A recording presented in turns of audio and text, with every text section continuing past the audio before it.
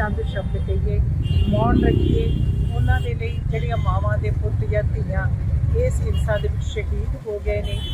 ਔਰ ਇੱਕ ਸ਼ਰਮਨਾਕ ਜਿਹੜੀ ਘਟਨਾ ਹੈਗੀ ਹੈ, ਉਹਦਾ ਜ਼ਿਕਰ ਕਰਕੇ ਲੋਕਾਂ ਦੇ ਵਿੱਚ ਉਸ ਦਰਦ ਦੇ ਬਾਰੇ ਜਾਗਰਤੀ ਪੈਦਾ ਕਰੀਏ ਤੇ ਇਸ ਮਸੀਹ ਤੋਂ ਇਸ ਗੱਲ ਦੀ ਪਰਵਰਦੀਗਾਰ ਤੋਂ ਅੱਲਾਹ ਤੋਂ, ਰਾਮ ਤੋਂ ਦੁਆ ਕਰੀਏ ਕਿ ਸਾਡੇ ਹਿੰਦੁਸਤਾਨੀਆਂ ਨੂੰ ਆਪਸ ਦੇ ਵਿੱਚ ਮੁਹੱਬਤ ਦੇ ਨਾਲ ਰਹਿਣ ਦੀ ਤੌਫੀਕ ਬਖਸ਼ੇ ਜੋ ਮਨੀਪੁਰ ਦੇ ਵਿੱਚ ਹੋਇਆ।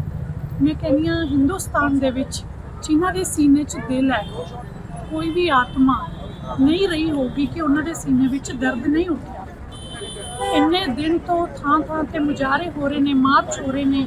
ਮਹਿਲਾ ਕਾਂਗਰਸ ਨੇ ਵੀ ਪੂਰੇ ਪੰਜਾਬ ਦੇ ਵਿੱਚ, ਹਰ ਇੱਕ ਜ਼ਿਲ੍ਹੇ ਦੇ ਵਿੱਚ ਪ੍ਰਦਰਸ਼ਨ ਕੀਤਾ।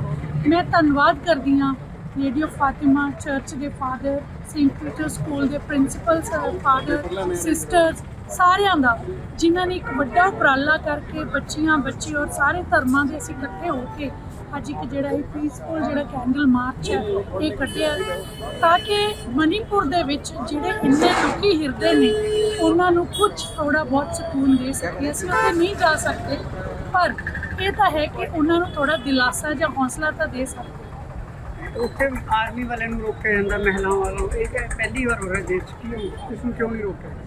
ਮੈਂ ਤਾਂ ਕਹੂੰਗੀ ਜੀ, ਦੇਸ਼ ਸਾਰੇ 'ਚ ਹੀ ਬੁਰਾ ਹਾਲ ਹੈ ਇਹ ਬੀਜੇਪੀ, ਮੋਦੀ ਸਰਕਾਰ ਜਿਹੜੀ ਹੈ, ਅਜਿਹਾ ਕੁਝ ਪਹਿਲਾਂ ਕਦੀ ਨਹੀਂ ਸੀ ਹੋਇਆ, ਜਿਹੜਾ ਇਹ ਹੋ ਗਿਆ ਇੱਕ ਸਰਕਾਰਾਂ ਵੱਡੇ ਵੱਡੇ ਵਾਅਦੇ ਕਰਦੀਆਂ ਸੀ ਕਿ ਬੇਟੀ ਬਚਾਓ, ਬੇਟੀ ਪੜਾਓ ਕਿੱਥੇ ਗਏ ਇਹਨਾਂ ਦੇ ਸਲੋਗਨ? ਜੋ ਸਾਡੀਆਂ ਭੈਣਾਂ ਨਾਲ, ਸਾਡੀਆਂ ਬੇਟੀਆਂ ਨਾਲ ਉਸ ਦਿਨ ਹੋਇਆ, ਸ਼ਰਮ ਆਉਣ ਲੱਗੀ ਸਾਨੂੰ ਸਮਾਜ ਦੇ ਵਿੱਚ ਰਹਿੰਦੇ ਕਿ ਅਸੀਂ ਇੰਨੀਆਂ ਬੁਰੀਆਂ। ਕਈ ਵਾਰ ਸਾਨੂੰ ਰੱਬ ਤੇ ਭਗਵਾਨ ਤੇ ਅਸੀਂ ਗੁੱਸਾ ਕਰਦੇ ਆ कि इसीलिए सी औरत पढ़िया जो गुरु नानक देव जी ने भी कहा सो क्यों मंदा आखिए जित जमे राजान उन्होंने ये हालत हो रही है। सो बहुत ही एक साढ़े देश लिए बड़ी शर्म की गल।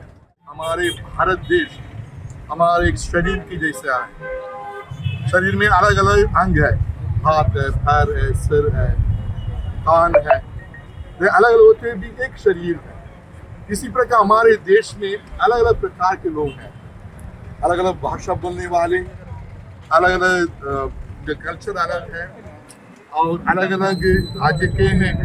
फिर भी ये सब मिलकर एक देश के निवासी बन जाते हैं वो भारत देश। इसलिए जहाँ भी कोई पीड़ा महसूस करता है करती है, जहाँ भी अत्याचार हो रहा है, वो इसका मतलब है कि पूरा देश उससे प्रभावित होता है। इसलिए मणिपुर में जो भी हो रहा है वो गया है। आप सब लोग जानते हैं, हम सब जानते हैं। आज हम लोग हमारे कैथलिक डायसिस के ओर से और सब लोगों के साथ मिलकर, सब धर्म के साथ लोगों के साथ मिलकर ये बताना चाहते हैं इधर आए हुए हैं। हम लोग हमारे हमदर्दी मणिपुर के लोगों के साथ बांटना चाहते हैं। ये बताना चाहते हैं कि हम लोग भी आपके दर्द को अपना समझते हैं, अपना महसूस करते हैं। उन छोटे छोटे बच्चों के साथ, जो कैंप में है, जो जैसे हमारी बहनों के साथ जो हुआ है, हम सोच भी नहीं सकते हैं ये कैसे हो सकता है हमारे देश में। हम सब लोग आज बता रहे हैं कि हम आपके साथ हैं, हम लोग उधर नहीं आ पाएँगे, लेकिन हम आपके साथ हैं। उसके हम लोग उसके साथ साथ हमें सरकार से ये भी निवारण करते हैं कि जो भी बच्चे हैं, जो बड़े हैं कैंप में हैं उन्हें एक प्रकार की सुविधा हो, उन्हें भोजन मिले, पानी मिले, सब सुविधा मिले। और उनके लिए जिनके घर जलाया हुआ है, उनके लिए घर बनाया जाए, वो वापस अपने घर वापस लौट सके। और जो भी ये जुल्म किए हैं, विशेष रूप से हमारे बहनों के साथ, उनको उनको दंड मिलना चाहिए। और जो अत्याचार सह रहे सहे हैं, उनको न्याय मिलना चाहिए।